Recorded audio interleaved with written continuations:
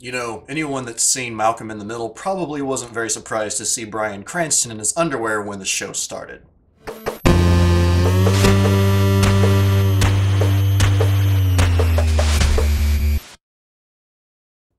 Hello, everyone. I'm Papa Kenn, and welcome to the brand new series called Discovering Breaking Bad, where I'm going to be getting into one of the most popular TV shows I know for sure in America, probably elsewhere in the world as well. But it's a show that I got two episodes in before and just never kept watching for whatever reason. But I'm going to do it now, at least starting with the first season for this particular segment. And uh, let me just say this first of all, if you haven't watched this show yet, which I think most of you probably have, but if you haven't watched the show yet, go back, watch the first episode, and then come back and watch this one because it's something. Uh, there are going to be spoilers, needless to say, and just you know, again, d- don't complain about it. But there will be spoilers in the comments for sure, uh, and I'm just going to say whatever comes to my mind. Now, for this particular series, uh, I know if you watch my Discovering Doctor Who series uh, on my channel, you know that I sort of had have a tendency to summarize episodes. I'm going to try and change that around uh, with Breaking Bad, in that I'm going to, well, first for this episode, I'm going to sort of uh, talk about my thoughts on uh, a bunch of the characters at first. But to for the rest of the episodes as well, um, I'm going to talk about three of my favorite moments from the episode, or three very important moments that I think, whether they're good or bad. Um, I'm going to point out a favorite quote from the episode uh, for every episode if possible. Uh, this one definitely had one. And then at the end of this episode, possibly others later uh, in other episodes, I'm going to talk about three estimates that I have of plot points or events that could happen throughout the course of the show and all of its seasons. So hopefully that'll keep things interesting and won't be too boring.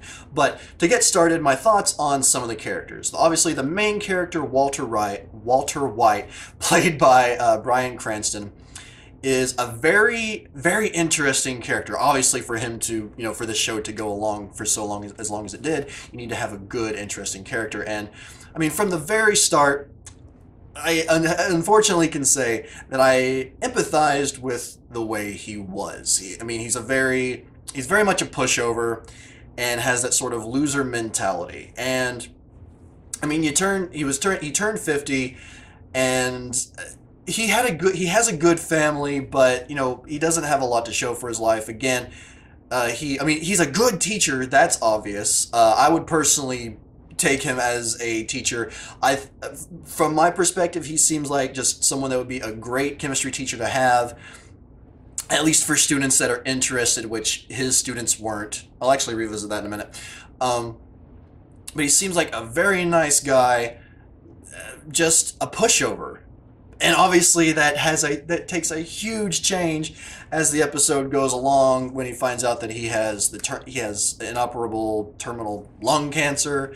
And yeah, it's just I, I really like him, and I mean, that's one character that obviously I'm just excited to see where he goes uh, as this show goes along because I'm sure it's going to be a huge, crazy ride for him based on this episode alone.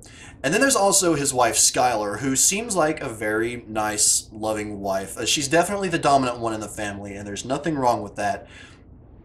But I'm interested to see how their dynamics change throughout the episode because they're even see, especially with at the end Walter taking on more of a dominant stance, uh, literally um, at the very end of the episode.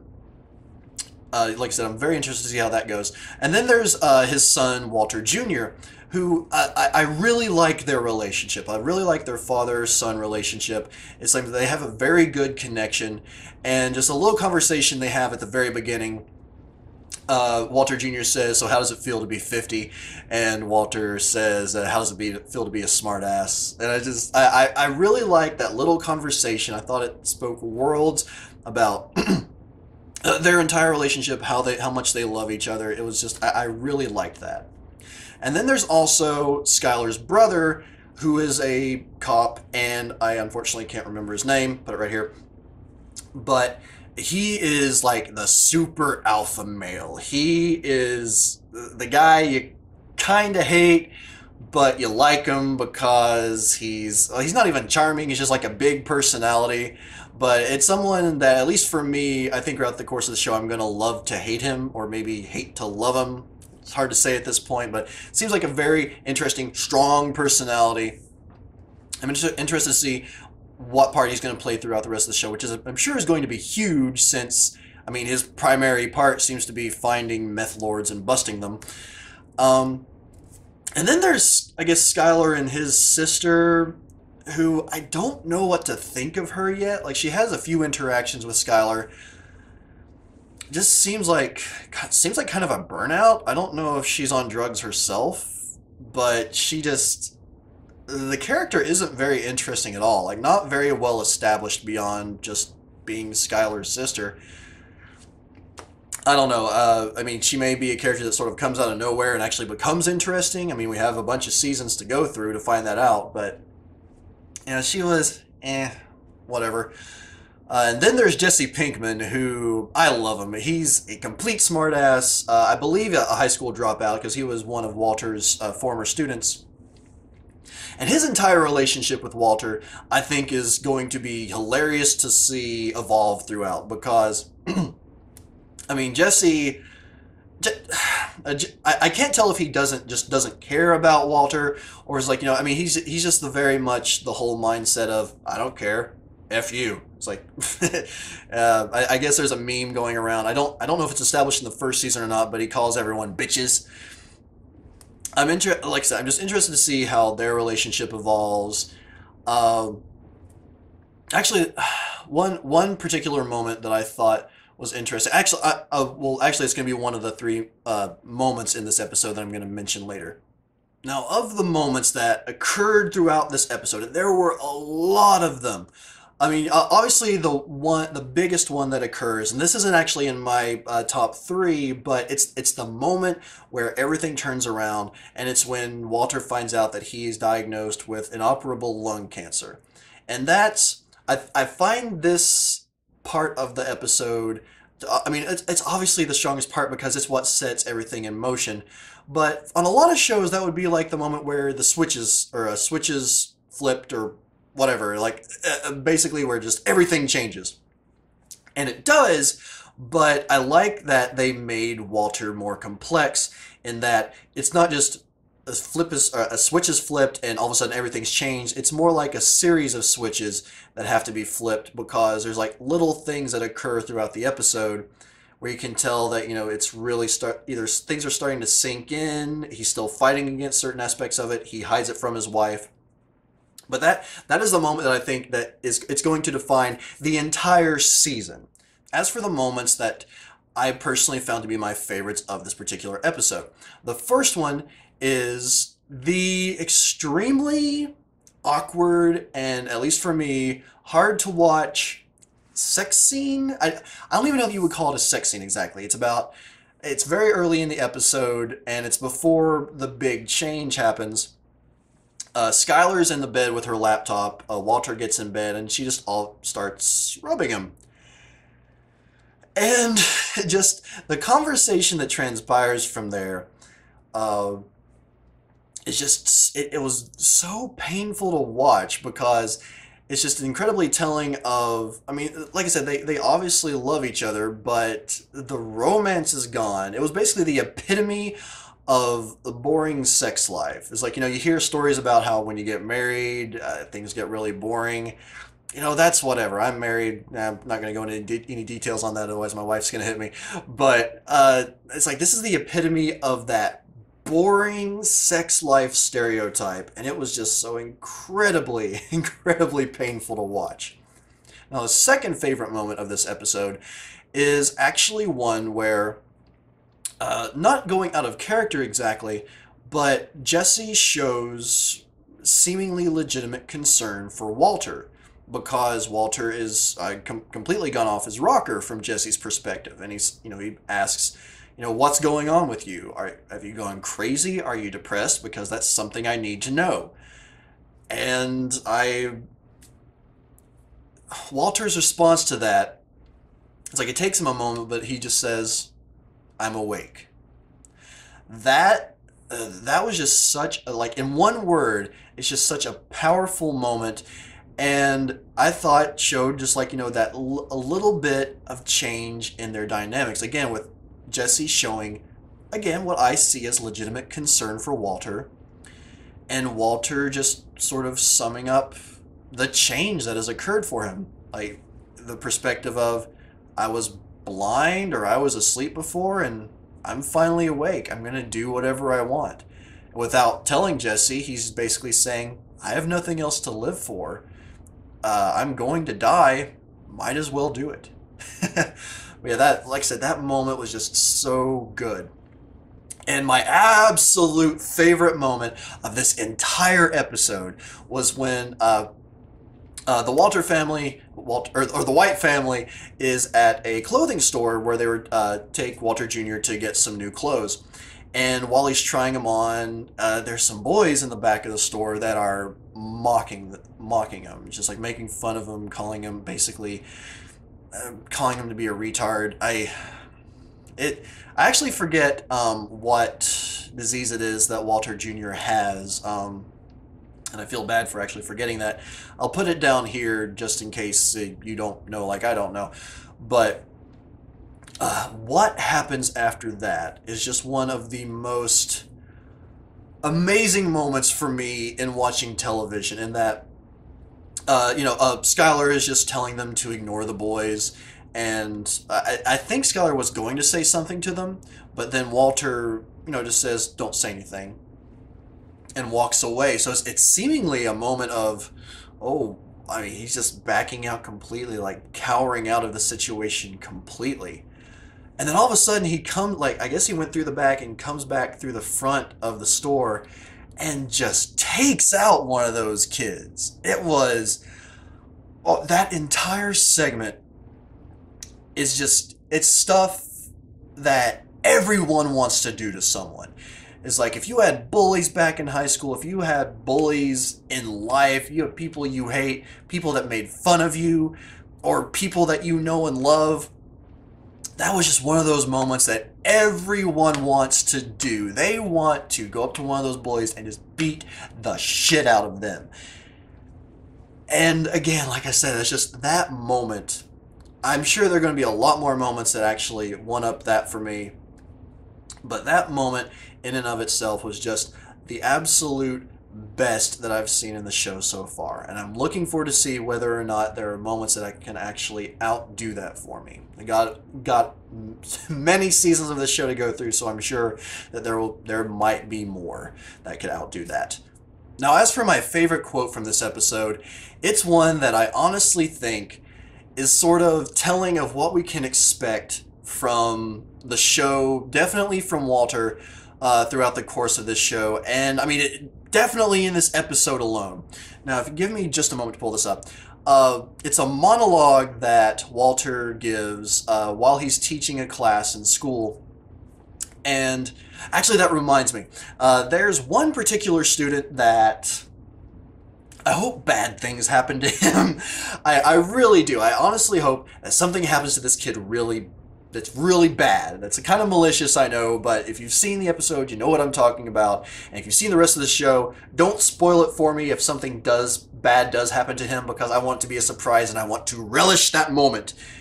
But anyway, my favorite quote from this episode. Again, a monologue from Walter. Chemistry is the study of matter, but I prefer to see it as the study of change. Now just think about this. Electrons, they change their energy levels. Molecules change their bonds. Elements, they combine and change into compounds. Well, that's that's all of life, right? It's the constant. It's the cycle. It's solution, dissolution, just over and over and over. It's growth, then decay, then transformation. It is fascinating, really. I honestly just feel like that monologue right there sort of sets the tone for what we can expect from this entire show. There's going to be all kinds of change that occurs throughout Walter's life. And it's like he said, I mean, that's that's all of life. There's going to be changes, but I think it just sort of sets a tone for all these dynamic changes that are going to occur like chemically, obviously, because this is all about him starting. Uh, well, I don't know about a meth empire exactly, but it's just starting up this business of selling meth to. I mean, his primary objective is uh, making money for his family because they're very low on money. He's having been having to work two jobs, one of which he rage quit, which was an awesome moment as well. But it's just, uh, and I mean, uh, again, like in this episode alone, he goes through so much change that that monologue may have just been for this episode in particular. But like I said, I have a feeling that it's go- it really sets the tone for the show overall.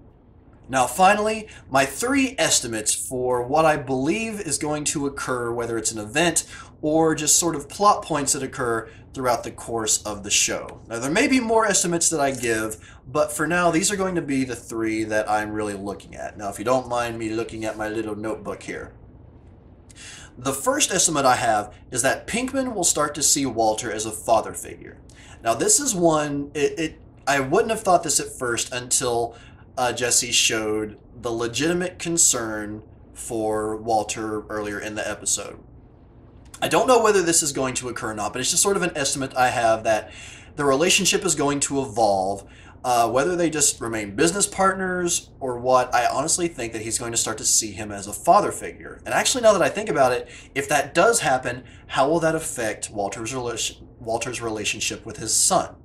My second estimate is that Walter will start to get more and more aggressive as the show goes along, whether it's through uh, his uh, lung cancer, pain from that, or maybe as the show goes along, he become like if he makes more and more money, he'll just like the power will go to his head, and I honestly think that he'll get more aggressive and eventually become a form of a villain, or maybe you might look at it as a sort of an anti-hero, but it just uh, so a sort of anti-protagonist or like the antagonist of the overall story. It's I don't know, it's really hard to put into words, but I just really think that he's going to sort of continue on that downward slope to the point where it just consumes him really.